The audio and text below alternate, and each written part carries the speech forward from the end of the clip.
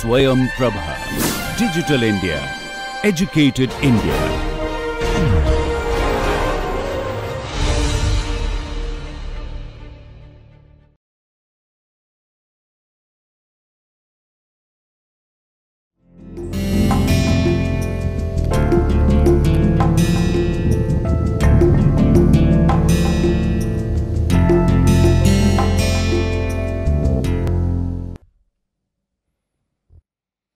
Hello friends, in this 18th session to the course of administrative law, I have come with the topic the ombudsman. This topic of ombudsman or the term ombudsman itself may be new for you. And therefore it is to be understood with reference to the functioning of the government the ombudsman is considered to be the watchdog over the administration or the institution which keeps the eye on administration. Why it is needed that there should be a watchdog or there should be the consistent eye over the administration or over the functioning of administration. We all know on the basis of our earlier discussion on various topics of administrative law that the administration in the modern complex form of government in the regime of welfare state is performing manifold functions. And particularly the administrative branch or the administration it does not perform only the administrative functions but in addition to the administrative functions, the administration also performs the, the legislative functions and even the adjudicatory functions. It means that by the functioning of the government, the rights, liberties and freedoms of the people are affected. On the other hand, because of this tremendous increase in the functions and powers of the government, the functions and powers of the administration. The administration may misuse or abuse these powers. In the words of Lord Acton, that power corrupts and absolute power corrupts absolutely. And therefore, they may all there may always be the chances, the opportunities for the administration to be corrupt because of the increased functions, because of the increased powers, because of the increased discretion of the administration itself. And therefore, there is always the need of an effective mechanism to control the administration or to, to keep an eye over the administration, whether the administration is functioning within the limits of powers, whether there is no arbitrary exercise of power by the administration and this particular need it relates to the requirement of ombudsman. As I told you, thus due to the remarkable and wonderful increase in the powers and functions of the government and administration, the government functionaries and the administrative authorities nowadays exercise wide discretionary powers. This state of situation has led to the increased possibility of misuse of powers by the governmental functionaries and administrative authorities in exercising their powers and performing their functions. Therefore, it becomes important to have a proper check and control on the actions of the governmental functionaries and administrative authorities for holding them responsible and responsive to the people. Friends, any good government, any good administration requires to be accountable and receptive system to the people. An advanced, innovative, forward looking and effective system of government and administration always needs an independent, impartial and effective mechanism for addressing the grievances against administrative defaults. Though the parliamentary form of government is considered to be a responsible government because the rulers in such kind of government always rule on difference of people. Yet it is also the proved fact that partition attitude in dealing with the grievances of the people and attitude of governmental functionaries to defend the functions and performance of the government have become the realities. We all know that in the parliamentary form of the government itself, where the parliamentarians, whether the politicians, they always supervise the administration. And therefore, we see the partition, we see the partiality in the decision making process by the administration. And it justifies the fact that there should be continuous control, consistent control on the administrative functions. There must be an effective mechanism to have the proper control over the administrative functionaries. And these all the realities and the attitude of the government functionaries are responsible for creating the atmosphere of non-confidence and dissatisfaction among the people particularly who make the complaint against the administration. We all know that nowadays the most part of the litigation relates to the disputes between the administration and the individual. And when any complaints are made against the actions of the administration at first hand these complaints go to the administration itself. And if these complaints are not resolved with an impartial attitude, with an independent status, if in resolving these complaints of the citizens or the people or the individuals against the administration itself are dealt with by the administration with partiality or if the political influences work in the mechanism of resolution of dispute by the administration, then certainly the confidence of the people would be frustrated. We know the democracy, the whole structure of the democracy, the whole structure of parliamentary form of the government, it is built up, it is built on the confidence of the people in the governmental functioning. And if the confidence of the people is lost, then that country or that nation cannot survive, cannot develop. And therefore, the participation of the people in the development of the country, it is required that there must be independent and impartial mechanism to resolve the dispute or to redress or to deal with the grievances of the people, so that the people may also have the proper remedies against the administration itself. This is also the logic or this is also the justification behind the need of some regulatory bodies. Because a regulatory body or a regulatory agency refers to a public authority or a governmental agency which exercises autonomous regulatory or supervisory authority over a specific area of governmental or administrative activities. In our country, and elsewhere also. The adoption of the institution of ombudsman and the creation and establishment of other regulatory bodies has been made for the same purpose of having an independent, impartial and effective mechanism to redress the grievances of the people against the administration.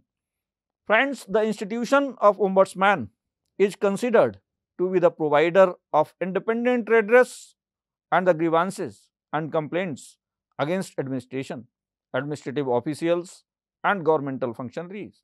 The basic role of ombudsman is to handle complaints about maladministration, poor services, facilities and amenities or unfair treatment by the governmental functionaries or service providers. This shows the role of the ombudsman. The basic role of ombudsman is to handle the complaints about the maladministration, about the poor services on the part of the administration, about the facilities being given by the administration and the amenities, which are being provided on the part of the administration. The ombudsman also has the role with regard to unfair treatment by governmental functionaries or service providers. The ombudsman generally refers to an independent and autonomous institution.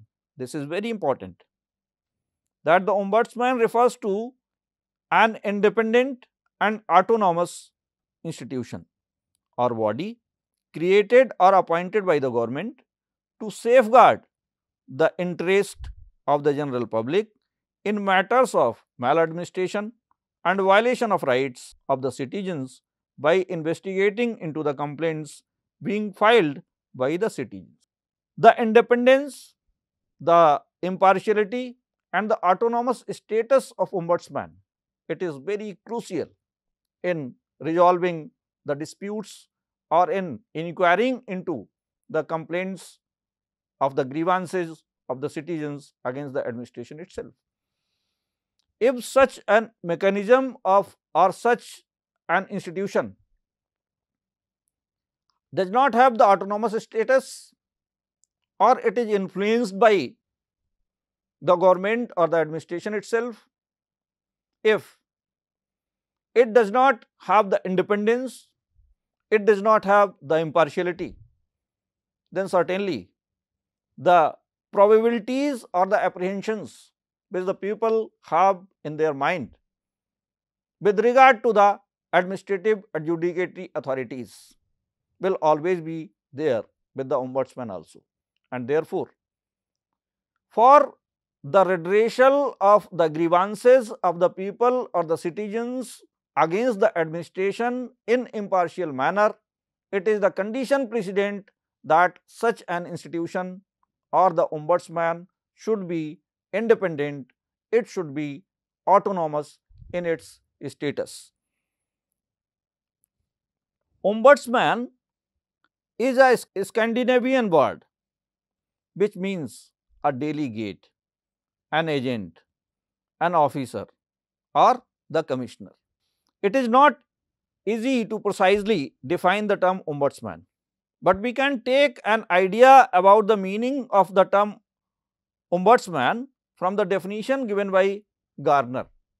Garner defines ombudsman, see, that the ombudsman is an officer of parliament having as his primary function the duty of acting as an agent of parliament for the purpose of safeguarding citizens against abuse or misuse of the administrative power by the executive. What does it mean? That to understand the, the, the meaning of the term ombudsman, the ombudsman is an authority which is appointed by the government for what? To investigate into the complaints against the governmental functionaries and administrative authorities. It is also true that the concept of ombudsman was first originated in Scandinavian and Nordic countries and then it became popular in Europe and other parts of globe. The institution of ombudsman came into existence in Sweden in 1809. This is very old origin. It shows very old origin of the institution of ombudsman when it was adopted by the Sweden in 1809 and in Finland it was adopted in 1919. The Denmark, Denmark introduced the system of ombudsman in 1955. Norway and New Zealand adopted the institution of ombudsman in 1960. So, you can see during or in between 1809 when Sweden adopted the institution of ombudsman and till 1962 Finland, Denmark, Norway, New Zealand, many countries they adopted the institution of ombudsman. In England, the institution of ombudsman was also adopted in 1966. Behind the adoption of the institution of ombudsman, in England there is a history. I have already told you under the topic of the rule of law, the development of rule of law in England. about delegated legislation also, about the constitutionality of delegated legislation, about the development of rule of law at all the events of discussions be referred to the history of England. You must be aware of the fact which we have already discussed that in 1929 during 1929-1930 the, the committee, the committee on ministers powers was appointed and it investigated into the area of the administrative rule making or the administrative legislative functions of the administration. Then one act was enacted in the name of Statutory Instrument Act and delegated legislation or the area of administrative legislation or the legislative powers of the administration were started to be regulated by this enactment. Then after the Crichel Down affair, Franks committee was appointed and on the recommendations of Franks committee, the area of administrative adjudication started to be regulated by the Tribunals and Inquiries Act which was enacted in the follow up of the recommendations of the Franks committee in 1958. Up to the 1958, the two major areas of the new activities of the administration, the delegated legislation and the administrative adjudication. It started to be regulated by two different enactments, but there was no comprehensive inquiry into the area of administrative functioning of the government or the administrative functions of the administration itself, purely administrative functions. Then the justice, the English wing of International Commission of Jurists. Justice, the English wing of International Commission of Jurists, it inquired, investigated into the area of administrative functioning and one report was prepared by Justice, an English wing of International Commission of Jurists. That report is known as Whyatt Report. In 1961, Justice submitted this report, prepared this report after making an inquiry into the area of administrative functioning.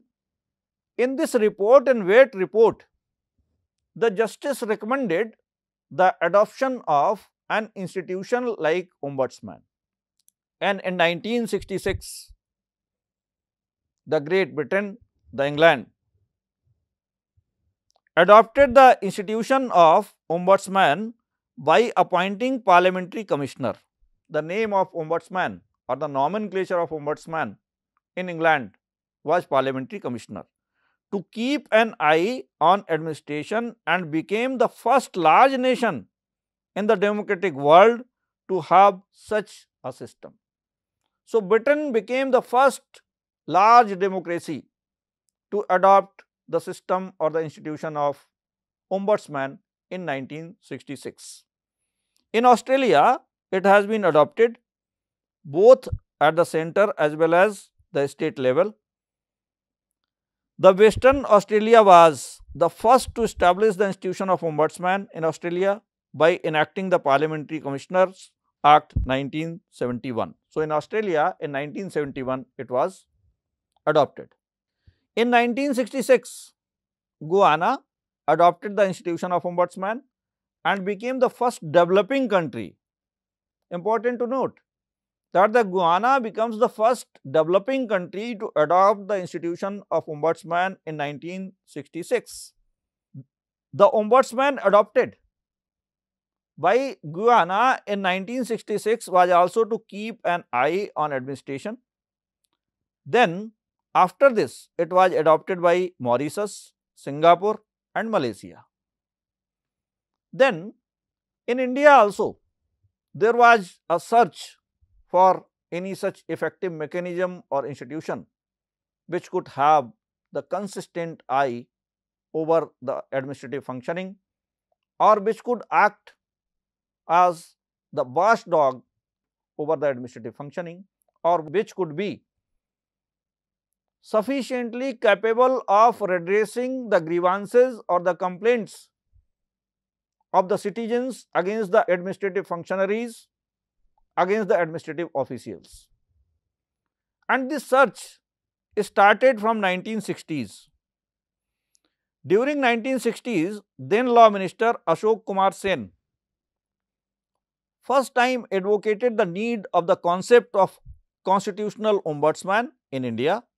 During the discussion on the floor of the parliament, it was first ever proposal for the adoption of the system of ombudsman in our country. In 1960s, the, the, the time of 1960s, the phase of 1960s was the time when first proposal for the adoption of ombudsman came in India by then law minister.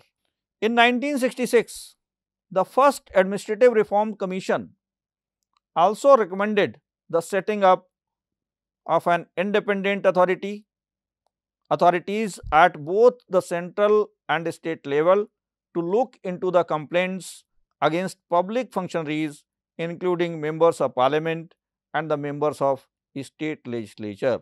It is very important to note that in 1966, the first Administrative Reforms Committee, the committee which was constituted to investigate into the area of administrative functioning and to suggest the effective measures and to suggest the safeguards against the administrative excesses and to suggest for the proper functioning of the administration. This Administrative Reforms Committee in 19 Commission in 1966 in its recommendations recommended for the adoption of the institution of ombudsman, the institution like or the body like or authority like ombudsman at both the levels, the state level and the union level. And that was also the important, the significant feature of the recommendations of the Administrative Reform Commission that the Administrative Reform Commission was of the opinion that there must be an independent authority at both the central and state level to look into the complaints against public functionaries including members of parliament and the members of state legislatures. That was the recommendation of Administrative Reforms Committee that the members of parliament and the members of state legislatures should also be included within the scope of the jurisdiction of such an independent authority which is to look into the complaints, which is to investigate into the complaints of the citizens against the administrative functionaries. In 1968, the first Lokpal bill was introduced in Lok Sabha. When the government of India accepted the recommendations of the commission. The government accepted the recommendations of the first Administrative Reforms Commission and then the government prepared a bill in the name of Lokpal Bill 1968. This Lokpal Bill 1968 was introduced in Lok Sabha. It was passed by the Lok Sabha in 1969 but in January 1970, the Lok Sabha was dissolved and it could not be passed by the Rajya Sabha and consequently this bill which was first time introduced in Indian parliament in the name of Lokpal bill was lapsed. The terminology or the phraseology or the term Lokpal and Lokayukt these were coined by Dr. L. M. Singhvi who was an Indian jurist parliamentarian, scholar, author and diplomat. He coined the word Lokpal and Lokayukt.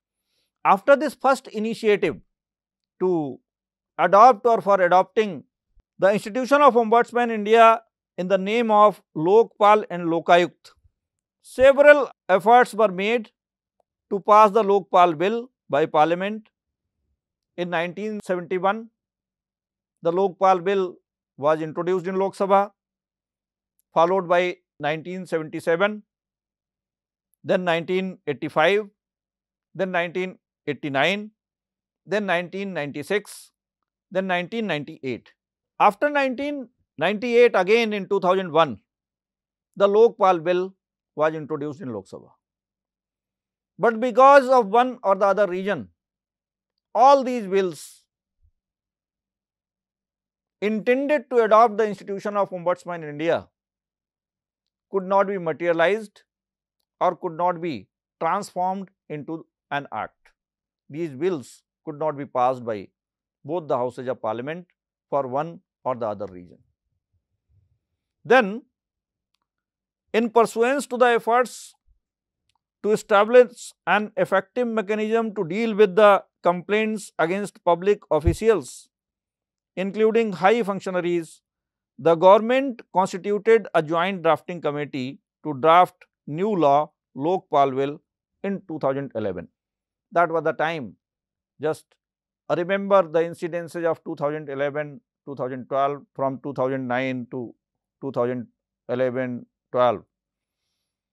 All over the country, the movements, the agitations against the corruption emerged out. And one very popular movement against the corruption was led by the social worker, social reformer Anna Hazare ji. Because of this social, the pressure created by the social movements against the corruption all over the country, the draft committee was appointed by the government to draft the Lokpal bill. The Lokpal bill was drafted and it was introduced in Lok Sabha. The bill was referred to the Parliamentary Standing Committee. The Parliamentary Standing Committee studied the bill, made its comments over the bill and then the report was submitted by the Parliamentary Standing Committee. Because of the recommendations of the Parliamentary Standing Committee, the government decided to withdraw the Lokpal Bill 2011 because of the weaknesses of this bill, because of the non-acceptance of this bill by the civil society. Or by the persons who were leading different social movements against the corruption. One important institution or the organization in this regard was India Against Corruption.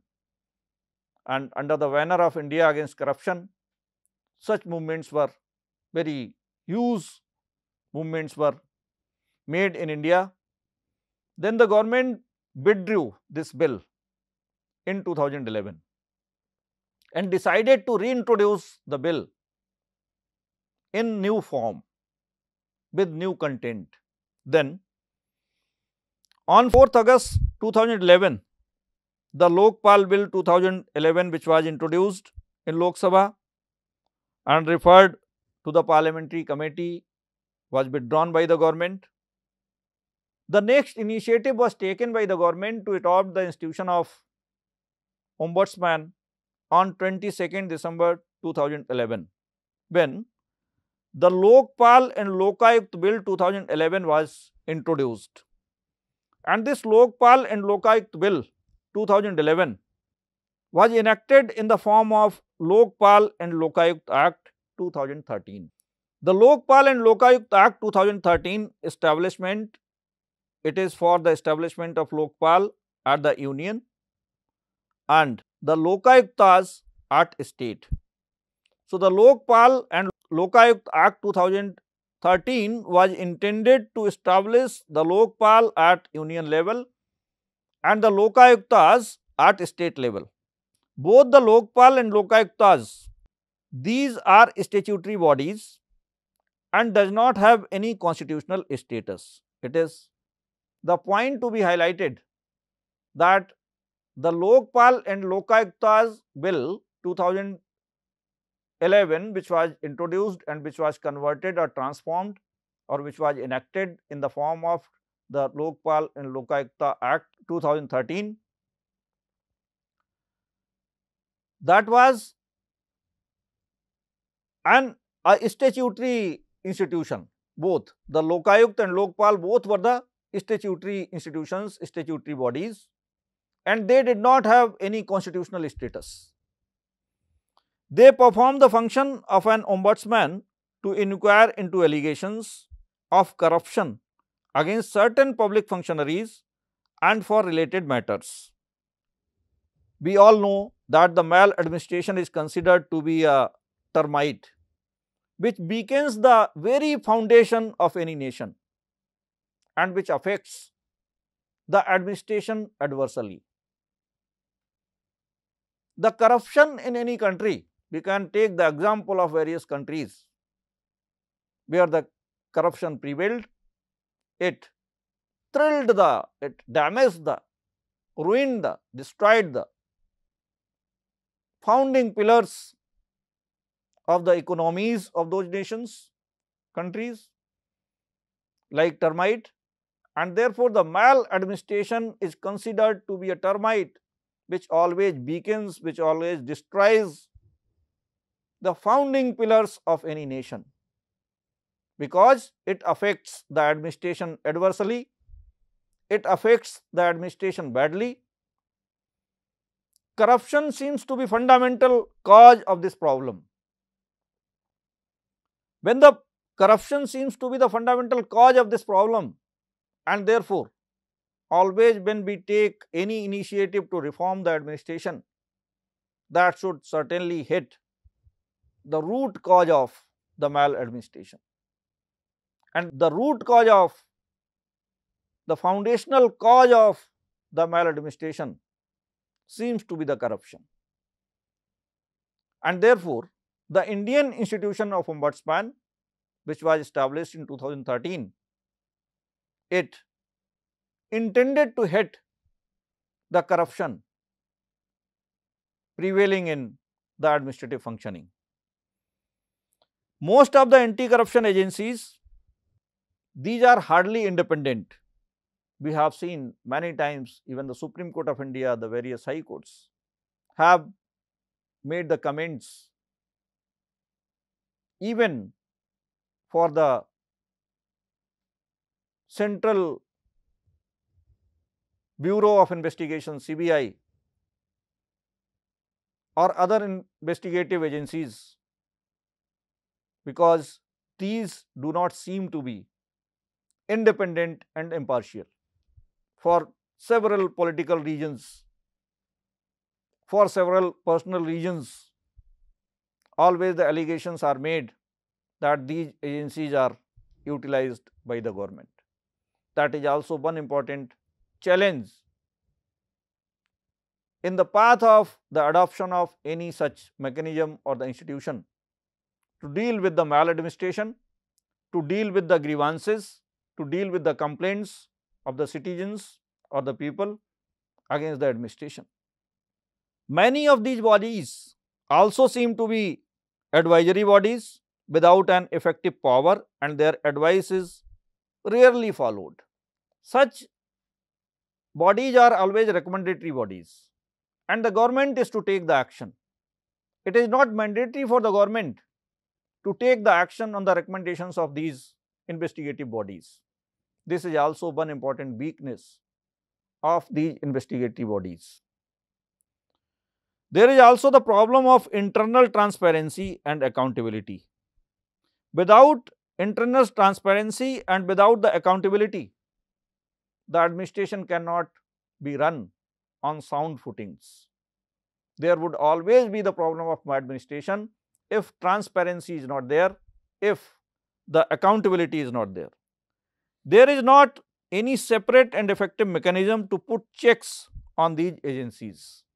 And in this context, it was realized that an independent institution of Lokpal may be the landmark move in the history of the Indian polity, which offered a solution to the newer ending menace of corruption and For this purpose, the 2013 Lokpal and Lokayukt Act was enacted.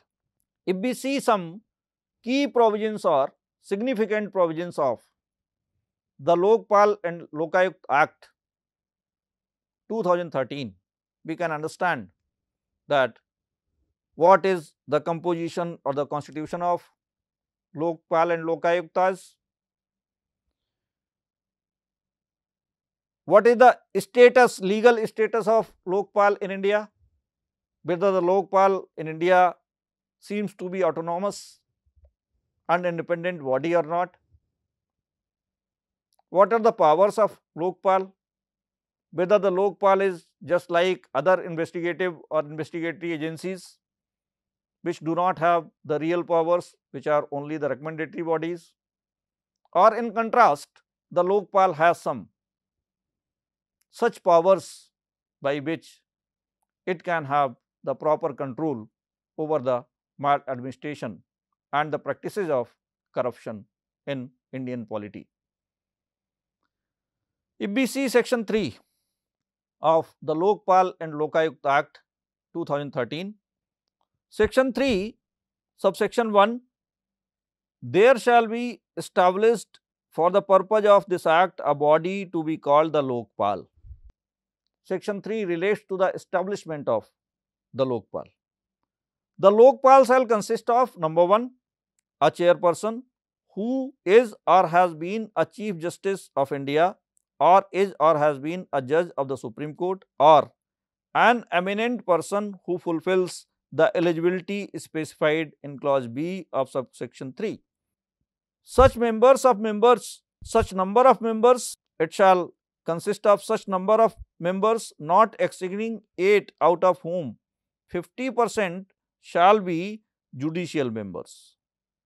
There shall be 8 members, maximum 8 members and out of these maximum 8 members, 50 percent must be the judicial members, provided that not less than 50 percent of the members of the Lokpal shall be from amongst the persons belonging to scheduled caste, scheduled tribes and other backward classes, minorities and women.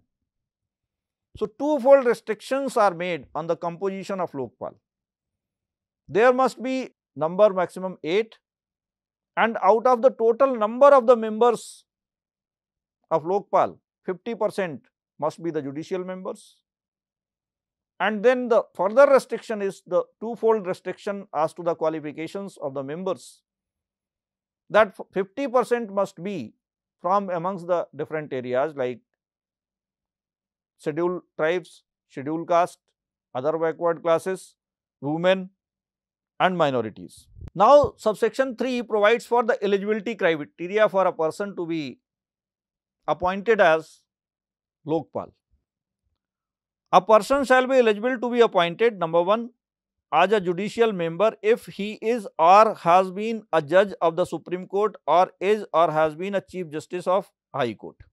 Judicial for any person to be the judicial member of the Lokpal shall have should have been the judge of the Supreme Court or he should have been the he should have been the chief justice of any high court. So, only two kinds of persons could be appointed as the judicial member. Number 1 the person who has been the judge of the Supreme Court or the person who has been the chief justice of any high court.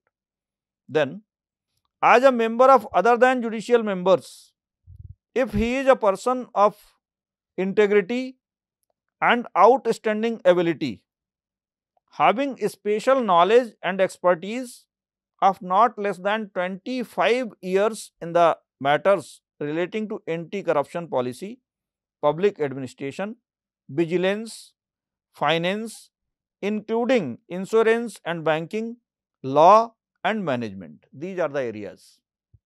He should have been the person having the experience of not less than 25 years in these areas.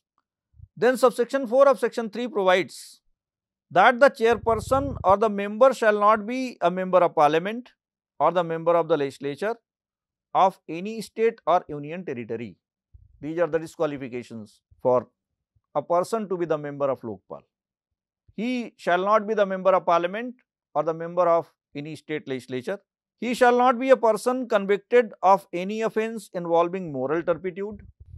He shall not be a person of less than 45 years of age on the date of assuming office as the chairperson or member as the case may be. He shall not be a member of any panchayat or municipality.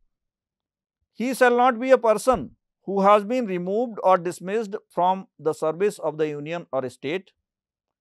He shall not hold any office of trust or profit or be affiliated with any political party or carry on any business or practice any profession. Accordingly, before the he enters upon his office, a person appointed as the chairperson or the member as the case may be. So, the disqualifications are given in subsection 4 of section 5. In clause A of subsection 4, it is provided that if he holds any office of trust or profit, resign from such office. And if he is carrying on any business or his connection with the conduct and management of such business, then he cannot be the person. He cannot be appointed as the member of Lokpal. Section 4 provides for the procedure of the appointment. How to appoint the members of Lokpal?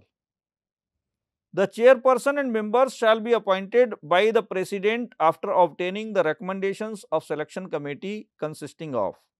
So, there shall be a selection committee and on the recommendation of the selection committee, the president will appoint the chairperson of Lokpal and the members of Lokpal. That committee will consist of the Prime Minister as the chairperson, the Speaker of the House of the People as the member, the leader of opposition in the House of the People as the member. So, this committee of three persons, Prime Minister, chairperson, the leader of opposition in the House of the People as the member, then one eminent jurist as recommended by the chairperson and members referred to in clause A to D above to be nominated by the president as member. There would be four persons, four members in the committee. Prime Minister would be chairman of this committee, selection committee for Lokpal, chairperson and members of Lokpal. Number two, the Speaker of Lok Sabha will be the member. The leader of opposition in Lok Sabha will be the member and then one eminent jurist will be the member of this committee and the name of this eminent jurist will be recommended. Collectively by the chairperson and the members meaning thereby the whole committee of three persons, the Prime Minister, the Speaker of Lok Sabha and then the leader of opposition in Lok Sabha collectively decide that who will be the fourth member of the committee selection committee for appointing a person as the member of Lokpal or the chairperson of Lokpal and on the recommendation of this committee, the appointment shall be made by the President of India. Subsection 2 of section 4 provides that no appointment of the chairperson or the member shall be invalid merely by reason of any vacancy in the selection committee. So, if the selection committee has any vacancy, so only on the basis of this ground that selection committee has the vacancy, the appointment of any person as the member of Lokpal or the chairperson of Lok Lokpal shall not be valid. Subsection 3 of section 4 provides that the selection committee shall for the purposes of selecting the chairperson and members of the Lokpal and for preparing a panel of persons to be considered for appointment as such constitute a search committee consisting of at least 7 persons of standing and having special knowledge and expertise in the matters relating to anti-corruption policy, public administration, vigilance, policy making, finance including insurance and banking, law and management, or in any other matter which in the opinion of the selection committee may be useful in making the selection of the chairperson and members of Lokpal. So, panel will be prepared by the committee provided that not less than 50 percent of the members of the search committee shall be from amongst the persons belonging to the scheduled caste, the scheduled tribes, other backward classes, minorities and women. So, for search committee itself the restrictions have been imposed. There would be the 4 members and among these 4 members 50 percent members shall be among the persons belonging to scheduled caste, scheduled tribes, other backward classes, minorities and women. Provided further that the selection committee may also consider any person other than the persons recommended by the search committee. The selection committee shall regulate its own procedure in a transparent manner for selecting the chairperson and members of the Lokpal. And the term of such committee referred to in subclause subsection 3 the fees and allowances payable to its members and the manner of selection of panel of names shall be such as may be prescribed. So, the, the selection committee will consider only the names of the panel which are finalized by the search committee.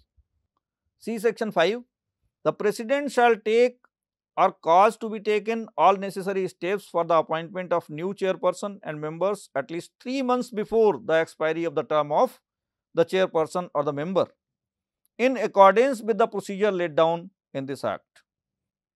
Section 6 provides that the chairperson and member shall on the recommendation of the selection committee be appointed by the president by warrant under his hand and seal and hold office as such for the term of 5 years from the date on which he enters upon his office or until he attains the age of 70 years, whichever is earlier. Maximum tenure of office is 5 years or till the person attains the age of 70 years, which is earlier, provided that he may be he may by writing under his hand addressed to the president may resign from his office and may be or he may be removed from the office in manner provided in section 37. Section 7 talks about the salary allowances and other conditions of service of chairperson and the members. Section 11 is also important. Subsection 1 of section 11 says, notwithstanding anything contained in any law for the time being in force, the Lokpal shall constitute an inquiry wing headed by the director of inquiry for the purpose of conducting preliminary inquiry into an offence alleged to have been committed by a public servant punishable under the Prevention of Corruption Act 1988.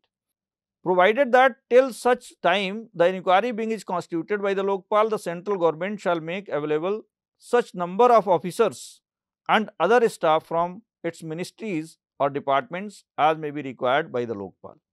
So, uh, there is the provision of making or constituting the inquiry wing by the Lokpal. Then section 12 talks about the prosecution wing 11 and 12 both are important because 11 talks about the inquiry wing and then 12 talks about the prosecution wing. Section 14 of the act gives the jurisdiction of Lokpal. It is very important aspect of the institution of Lokpal because always there has been the debate on the scope of the jurisdiction of the Lokpal. Under section 14 of Lokpal and Lokayukt Act 2013, jurisdiction has been conferred and according to section 14, the jurisdiction of Lokpal includes Prime Minister, Ministers, members of parliament, group A, B, C and D officers and officials of central government. So, very wide jurisdiction has been given. The prime minister and ministers similarly in the under the jurisdiction of Lokayukt, the chief minister, the ministers of that state, members of the council of ministers of that state and the similar officials of that state are included within the jurisdiction of Lokayukt. Section 20 provides for the provisions relating to the complaints and preliminary inquiry and investigation. How the complaints are to be filed, how the preliminary inquiries and investigations are to be made, the procedure and the manner of making such inquiries and investigations is provided under section 20. Under section 22, the Lokpal may require any public servant or any other person to furnish information. This is also very significant provision or the feature of the act that the Lokpal may require any public servant or any other person to furnish information. Without receiving the informations relating to the maladministration, relating to the corruption, the Lokpal and Lokayukt will also not be in position to redress the complaints or grievances of the people and therefore, section 20 becomes relevant in this regard which gives the power to the Lokpal to require any public servant or any other person also to furnish the information. Section 23 talks about the power of Lokpal to grant sanction for initiating prosecution. It is also the sanctioning authority. Section 25 makes the Lokpal a supervisory authority. Supervisory, it talks about the supervisory powers of Lokpal. The Lokpal has the power of civil court under section 27. So, section 28 gives the power to Lokpal to utilize services of officers of central or state government. Section 32 confers the power on Lokpal to recommend transfer or the suspension even of public servant connected with allegation of corruption. So, pending the inquiry, pending the investigation, the public servant may be suspended on the recommendation of the Lokpal. Lokpal can make the recommendation for the suspension of such public servant. Section 34 gives the power to Lokpal to give directions to prevent destruction of records during preliminary inquiry. It is also very significant provision. Section 34 provides for the creation, establishment of special courts to be constituted to the, the, the creation or establishment of the special courts by the central government to deal with the cases relating to the investigation by the Lokpal. So, these are the provisions, the important or significant provisions of the Lokpal and Lokayukt Act 2013 and we can understand that by this act an effective mechanism was adopted by the Indian government to control the administrative functioning or to supervise the administrative functioning and to redress the complaints and grievances of the citizens of this country by Lokpal and Lokayuktas. Friends, this is the 18th lecture in which we discuss the ombudsman, the concept of ombudsman and the rest provisions of the act which I could not discuss here at this point of discussion are also important for you to go through these provisions and see that what is the status of Lokpal and Lokayuktas in India and how far this institution which was established in 2013 could succeed in its objective. Thank you very much.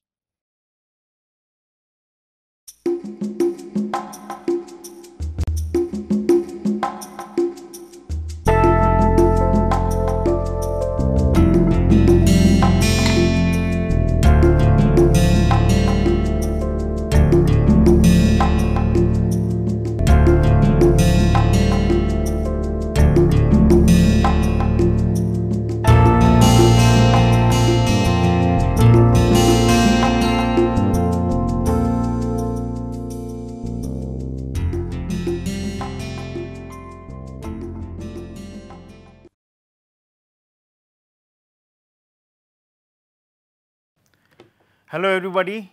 Now uh, the discussion which I would try to um, make uh, talk to you is about the excitement which I always feel and I am sure you will also reciprocate as I proceed and when you do the course is in the area of multivariate statistical problems and multivariate statistical analysis. So, what we mean by multivariate? So, we know that statistics is a, is a subject where you have, have a lot of data, you try to analyze that using different type of techniques like estimation problem, MCMC techniques, then forecasting and the area of time series analysis and then try to basically find out the best forecasting tool which you have such that you are able to gain the maximum amount of information from a set of data. Now, in the recent past as we see that multivariate statistics has, has, has really increased in a, in, in a very exciting manner and if I trace back to history it has been going on slowly for the last about 70, 80 years, but now the time has come where it is being used in a very big way. And the techniques which we all know, but which are being utilized with new vigor are in the area of say for example, canonical correlation technique, in the area of factor analysis, in the area of conjoint analysis, in the area of clustering analysis, in the area of multi-dimensional uh, scaling techniques structural equation modeling be it in the area of finance, be it in the area of engineering, be it in the area of social sciences, be it in the area of economics such that you are able to gather the, the information from the data in such a way that it really gives you some useful set of information. Now, in the recent um, past there has been also an explosion of large and complex data sets but added to that there has also been a, a commensurate increase in the computing and the statistical techniques. So, obviously the question comes that if the statistical techniques are there for so called small data not the big data not the, the, the data which is of terabytes and, and, and so on and so forth where you use different type of computers to store the data. The question obviously comes that are those statistical techniques really relevant when we use them in the big data sense? The question is they are not always relevant, they may not give you the best results. So, what we are seeing in years to come and, and I feel very excited about that is that how the new tools which we have already learned in statistics in multivariate uh, statistical analysis are being redrawn, are being say for example remodeled in such a way that they can be utilized along with the techniques of computing in a very nice manner that we are able to garner the information from big data very successfully and very nicely in such a way that they are able to portray a sense of information which we all long to have from big data be it in say for example medical sciences, be in the area of finance, be it in weather forecasting, be it in transportation, so on and so forth. So, obviously it means that students, participants who are in a position with some brief mathematical background to take multivariate statistics and statistical tools as a subject in this program are assured are a very exciting future where they can use these tools to, to both gain the knowledge as well utilize them in a very best practical sense such that they are able to do some justice to the information which is given to them and get the best information from the data sets. I wish all the participants in this course the best of luck and I am sure they will also reciprocate the excitement which I have for this type of courses. Thank you.